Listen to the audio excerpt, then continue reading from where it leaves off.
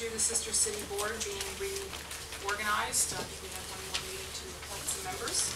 And our sister city in Southend-on-Sea is hosting its second annual street painting festival inspired by Lake Worth on September 8th.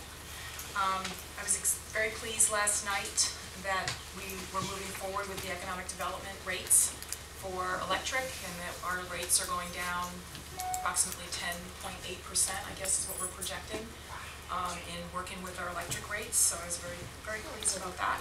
And the pool, happy to hear that we're going to be working towards finding a way to open it. Um, even if it's part-time, temporary, something so that we can, um. Um, I do look forward to an update regarding the internal auditor. I was very disappointed to hear after two months of um, Commissioner Maxwell's negotiations that we didn't get any updates until last week when he was, uh, then he withdrew his candidacy. So I'd like to hear what, what happened with that. And um, I hope that everyone that came to speak on the item regarding the Heights stays. Um, It is an important issue, and it does affect the future of the city, so I'm sorry that you have to wait until the end of the meeting. My voice will be heard regardless. Commissioner Amoroso? Um, I want to take my liaison time to send my condolences to the mother that lost her life on H Street and to her family. Um, it was a horrific thing, and I just want to, uh, send my condolences, and, uh, that's it. I- I would do the same too. Thank you, Commissioner Amoroso. Um, We're all one community, no matter what. Please keep that in mind, okay? Commissioner McBoyd? Uh, I would just uh, like to comment a little bit on the issue of what our community looks like and how we achieve that. Um, I think some of you who are here and some who are listening have, have heard for a while that, that our community needs economic growth and economic development. I think we're all in agreement with that. Um, I certainly am. I think everybody up here is. And in that context, it's been clearly brought to our attention by our professional staff that we need to have a very clear legal environment for developers to come in and know what they can do in our community, what they can't do, um, such that they can move in, a, in an expeditious way to develop in our community. And I think uh, it's pretty clear that we've had a kind of messy LDRs, land development regulations, zoning maps, and charter amendment, all sorts of things that were not very consistent, were confusing. It did not make it easy for developers to come in and do things that enhance our community. And, and there's been a good push over the last two years particularly to, to try and bring that all together. The piece that I think we've perhaps lost sight of a little bit is that on the one side, it's very important for developers to have a clear path, a consistent path. They can look at it and say, if I do this, I will get approvals, I will meet with approval in the community, and I will enhance the community. That needs to be there. At the same time, what we put in those regulations has to be very clear in reflecting what the community wants. This is our community. This is not somebody else's community. We need to be making our wishes for the community very clear. So as we write those land development regulations and the zoning maps and the charter amendment and building heights and setbacks and all the pieces, we need to keep our eye very tightly on the ball. It needs to be a clear package and it needs to be something that has very broad support in the community. And I believe it is our responsibility as a commission to make sure that we go the extra mile to make sure that there is in fact support for whatever it is that we put on paper.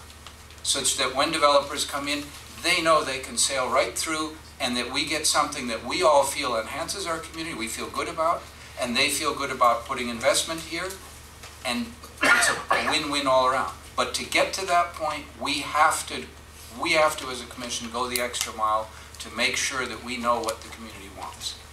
And what I'm hearing very clearly from the community is, at a very minimum, please allow us to vote on what our downtown looks like in the way of building heights. And it concerns me greatly that we've made a choice up here as a commission to not do that. And I would like to make sure that we find some way to, find a different way to address that and make sure that, that we really have, it's in all of our interests. It's not in our interest to move forward with, move forward with a divided commission that is trying to push something through that maybe has a narrow set of support in the community, but does not have broad support.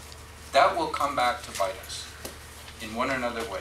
And I don't think we want to do that. I think we want to go a little slower, make sure we know what our community wants, make the effort to find that out, and, and then incorporate it.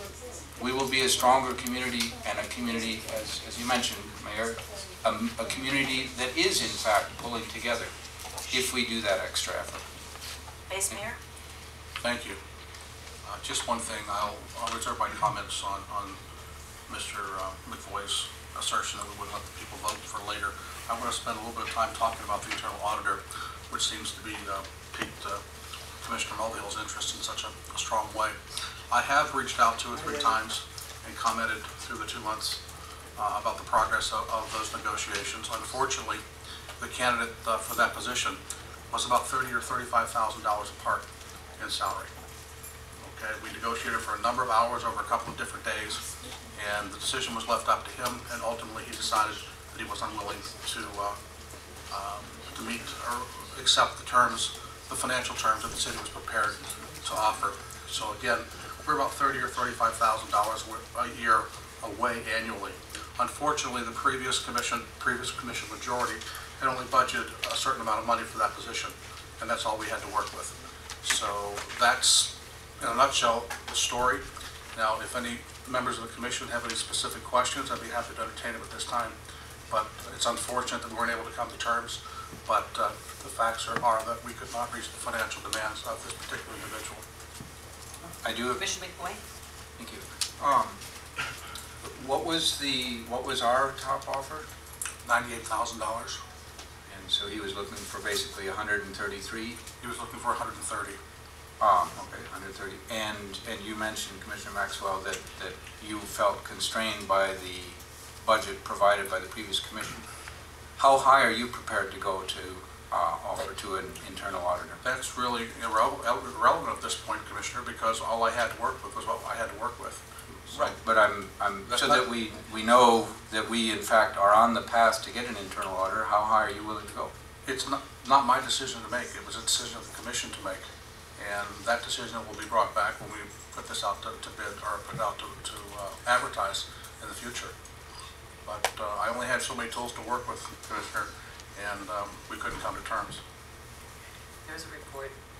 I guess I would put in a vote that if we're serious about wanting an internal auditor, I would hope that we would look at what the market rates are for a first-rate internal auditor, and that this commission either decide that they want an internal auditor and they're willing to pay the market rate for a first-rate person, or that if we're not willing to pay the market rate, then we simply say we can't afford to do it at this time.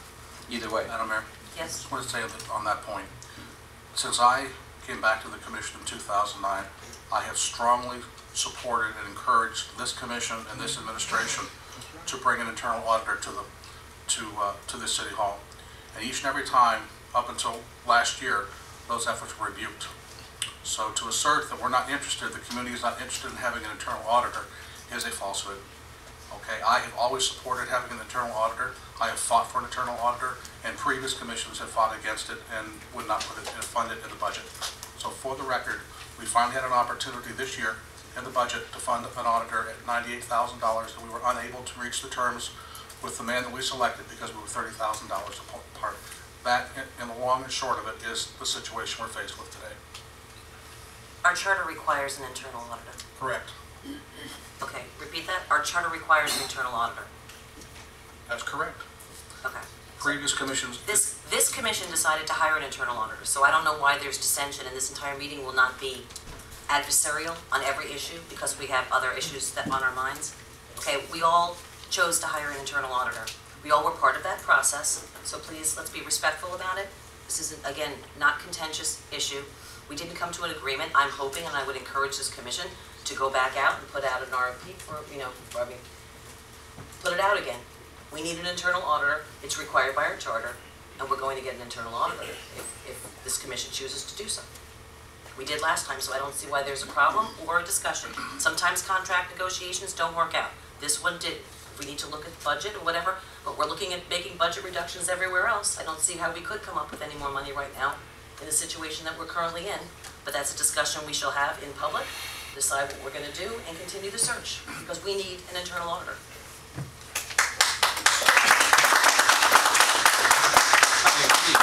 But if you put a salary out that's lower than what the going rate, and we were off by thirty thousand, then we're essentially saying that we don't want one. We will look at that, again, quiet the chambers, please.